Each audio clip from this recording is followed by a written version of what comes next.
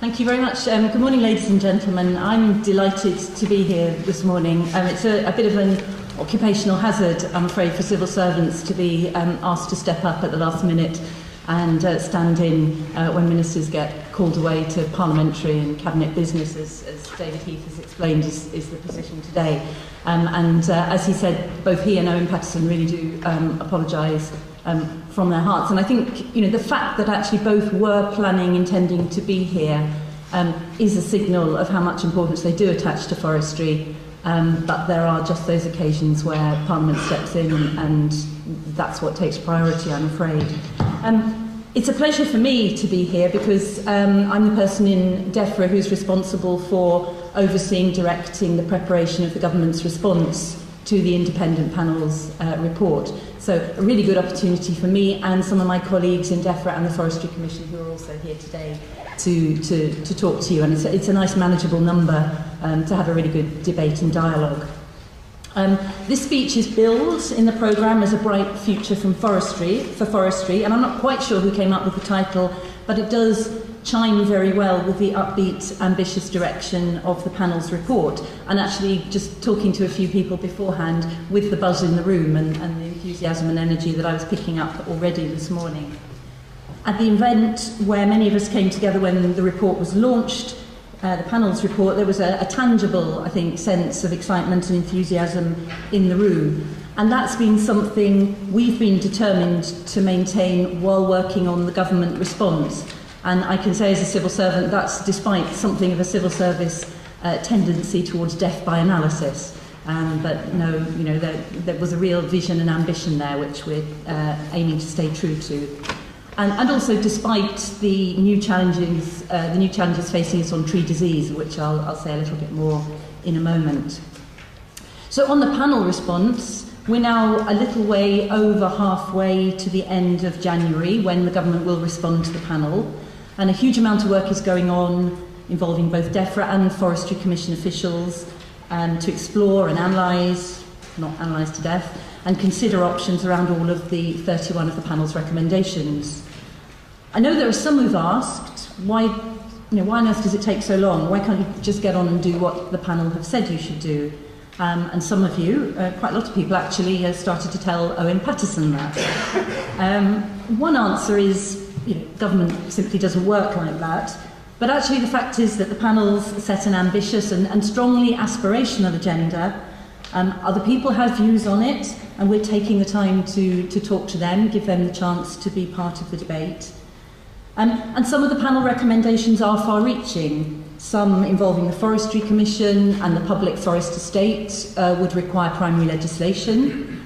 And beyond those items that the panel put a price ticket on, There are quite a lot of others that will cost quite large amounts of money. So that obviously raises questions about how things could be paid for, and, and it's not something that we can instantly respond to. So no firm decisions have been made yet. Um, we've got uh, a new ministerial team who've only been in post a couple of months now, and both Owen Paterson and David Heath have made clear they want to be very closely involved um, in the detail before anything is settled. But they have confirmed that they stand by the commitment made by Caroline Spelman in the summer that the public forest estate will continue to benefit from public ownership. So they've, they've, they've reinforced that commitment that was made then. DEFRA and Forestry Commission officials have been busy since July meeting people from across the sector, including partners like yourselves from industry, civil society bodies, and various campaign groups.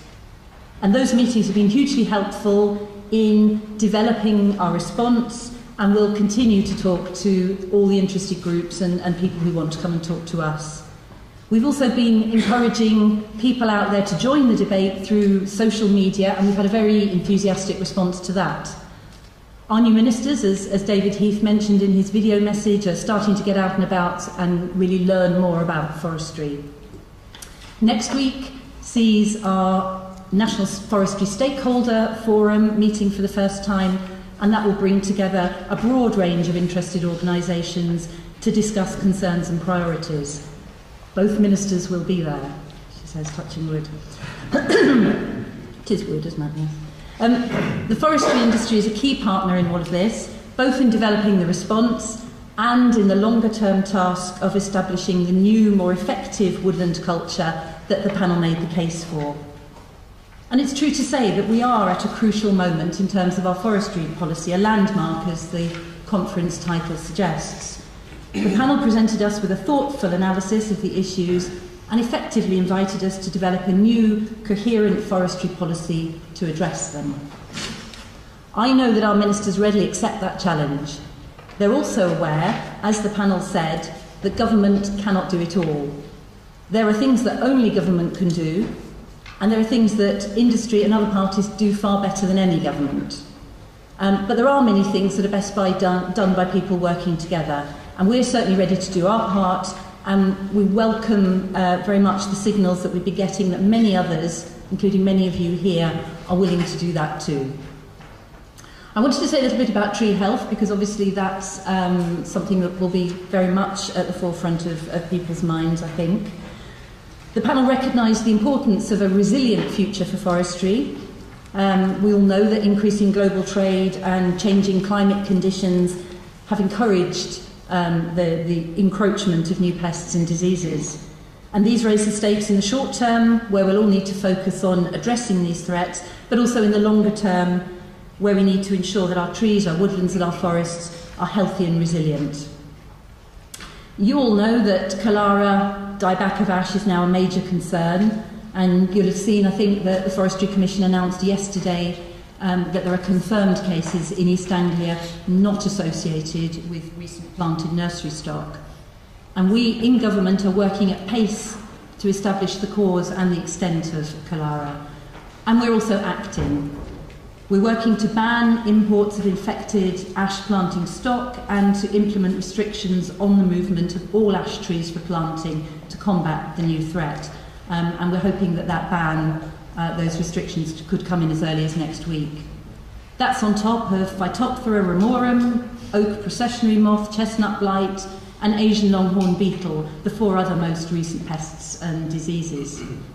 Fingers crossed, it looks as though we might be winning at least some of those battles on chestnut blight, on the outbreaks on chestnut blight and uh, Asian longhorn beetle. And we are in fact making good progress on many elements of our tree health and plant biosecurity action plan, including a new quarantine facility at Kew. We're looking actively at the actions in the plan to see what can be brought forward, reflecting one of the independent panel's recommendations. Our priority is keeping out pests which are present in Europe but haven't crossed UK borders. In October, it was announced that work with the Living with Environmental Change initiative has led to significant additional funding from others for tree health and biosecurity research, combined with that from DEFRA, DEFRA and the Forestry Commission. We also announced that DEFRA has put an additional £1 million into this research initiative, increasing the overall DEFRA funding for tree health research to £8 million. We know we need to maintain and, where possible, strengthen our ability to deal with these threats. We've got a strong cadre of skilled forestry experts within the public sector, but that's not enough to address these significant threats. We need you, the timber industry, and private woodland owners to continue and increase the work you do too, hand in hand with us, to identify, prevent, and, and, and combat pests and diseases. Let's say a little more now, going back to the, uh, the panel report about some of the key recommendations, particularly those around woodland creation and management. Um, so those were two other very significant elements uh, and long-term elements of the panel's report. We would, of course, like to see the rate of woodland creation increase. We share that ambition. And this is one of those things that the government cannot and should not do alone. The panel's recommended increase from 10 to 15% coverage by 2060 sounds modest on the face of it. Some people have suggested it's insufficient. In reality, it would require a huge and an unprecedented step change in woodland planting. to achieve it, we'd need to cover nearly two thirds of a million more hectares of land with trees. And that would be, just comparing to present rates, a 500% increase on the current planting rate, sustained over nearly 50 years. And if we relied on the public purse to pay for it through the kind of grant mechanisms that have delivered some recent planting rates, it would cost around 110 million a year over that long period, something like six and a half billion pounds over time. Now, that shouldn't be interpreted as any lack of commitment to the panel's ambition to increase woodland cover, but I think it really does underline that a great deal of imagination and innovation will be needed by us all to respond to the panel's challenge. The panel also wanted to see more of England's woodlands managed better to fulfil their potential economic and environmental benefits. Again, we really support this aspiration and we'll be happy to work alongside you and other partners to create new opportunities for landowners to increase the proportion of woodland under productive management. As you all know well, the UK is one of the largest importers of wood and panel products in the world, um, and those imports dwarf the proportion supplied by domestic producers. The panel's recommendation of a wood industry action plan aligns very well with the government's commitment in the Natural Environment White Paper to increase the use of sustainably grown and harvested wood products. We strongly support this objective. I'm pleased to report that good progress has been made so far in laying the foundations for such an action plan. Um, core themes in that plan are likely to be increasing the volume of English grown wood used by society, so looking at, at the demand, strengthening and further developing forestry's contribution to sustainable economic growth, very much uh, in tune with, with the flavour of lots of policy at the moment. Helping to bring more of our existing woodlands into productive management through increased market opportunities such as wood fuel supply chains, also generating more jobs, increasing skill and safety levels in the forestry sector, and ensuring um, future security of supply from the private sector to existing wood processing businesses. So giving, giving the business the security, the confidence that actually they can then develop their businesses on the back of that. I'd like to thank you for your valued input so far to those discussions around the Wood Industry Action Plan, and I'd like to encourage you to continue to support this important work. The discussion will carry on over the coming months, but I'm confident that we can produce a plan that will build confidence in the wood supply chain and with the sector fully behind it, deliver real change. So in conclusion, we've committed to responding to the panel's report in January. We're on track to do this, but it won't be the end of the process, um, nor of the effort actually that will be required to deliver on those aspirations and ambitions.